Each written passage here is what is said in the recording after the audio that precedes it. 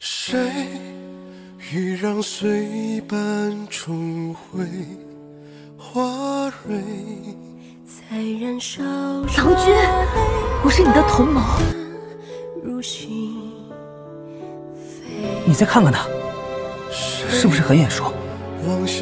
你不要告诉我你姓薛，你认错人了。想了一宿，你到底姓什么？柳夫人说你好像叫小狸猫，你姓什么？我姓姜，大名一个梨字。为何与贩卖私盐的人贩勾结？我骗了你。问不出我想要的答案，谁也走不出这间新房。也许我是个例外。我们这一路上是不是被他给耍了？他故意让我们把他给抓回来，可这人抓回来了，审也审不得问也问不得。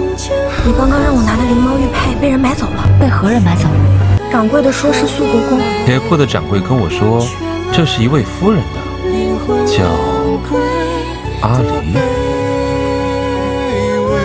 薛芳菲，是江二娘子把你给她的糕点踩扁了。踩得好，你手怎么了？已经在医治了，肃国公不用操心。大夫说想要治好至少一个月，你等得起吗？大夫，需要多久才能恢复如初？至少要一个月吧。你还说没有监视我？我只是路过而已。这两只蜘蛛，一只有毒，一只没毒，二选一。这就是我要赌的命。我给你介绍医师，你这是恩将仇报啊！若你有个三长两短，我必定一命偿一命。殉情？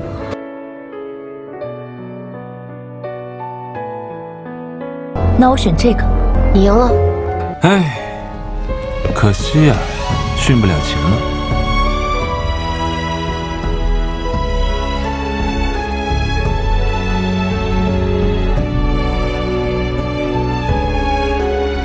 蘸上蝎毒所致，若是一会儿你受不住疼，我也救不了你。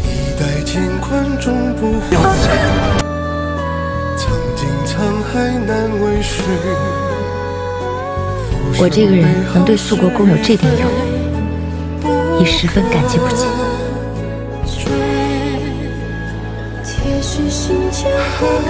我不是还没有喝倒下吗？等你真倒下了，谁送你回去啊？我送他回去。你应该说你替我喝。你若求我，会。我求你。你还真是不客气。你知道你长得好看吗？我根本不是江离。我知道，你是一只小狸猫。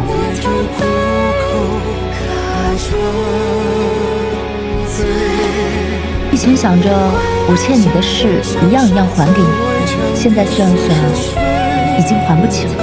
别还了，那你就亏了。亏得起。有件事你得应下我，不管你以后做何计谋，都不要把自己算计进去。你亏得起，我不一定亏得起。你喜欢我这件事，我已经知道了。我喜欢你这件事情，你知不知道？